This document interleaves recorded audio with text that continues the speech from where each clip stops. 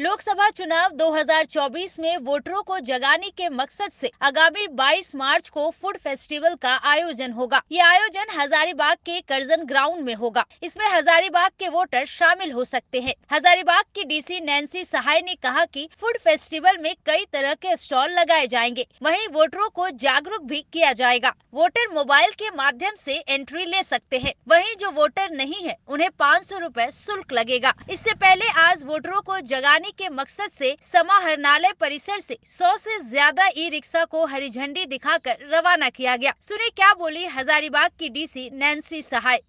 लोकसभा चुनाव 2024 के निर्वाचन के लिए हम लोग ज़िले में कई प्रकार की स्वीप एक्टिविटीज़ कर रहे हैं, जिसके माध्यम से हम यहाँ के सभी मतदाताओं से ये अपील कर रहे हैं कि वो आने वाले लोकसभा चुनाव में, जो कि हमारे ज़िले में 20 मई 2024 को निर्धारित है, मतदान दिवस, पोल डे, उस दिन ज़रूर अपना मत डालें।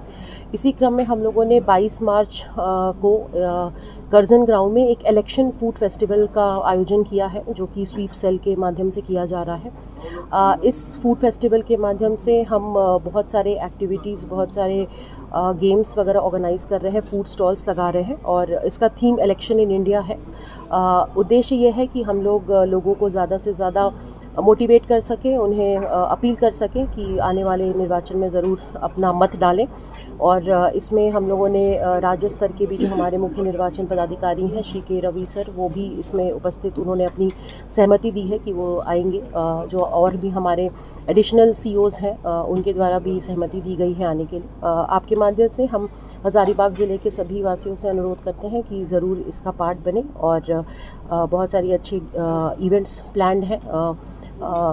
इंडियन आइडल फेम की जो सिंगर है शालिनी दुबे वो भी इस कार्यक्रम में शिरकत कर रही हैं। तो एक अच्छा इवेंट होगा। आप सभी सपरिवार इसमें आए और इसका लुफ्त उठाएँ। आपसे यही अपील।